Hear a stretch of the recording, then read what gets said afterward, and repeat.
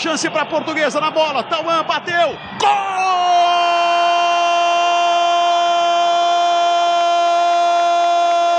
Da portuguesa! Tauan batendo pênalti aos 45 minutos, no finzinho do primeiro tempo. A portuguesa abre o placar e o torcedor aqui no Pacaembu solta a voz e comemora o primeiro gol da Lusa. A tranquilidade, a categoria do Tauan.